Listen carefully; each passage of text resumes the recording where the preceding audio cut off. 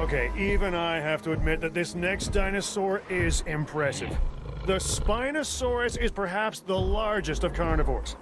Of course, I'll never get close enough to one to see for myself, but that's why I have you.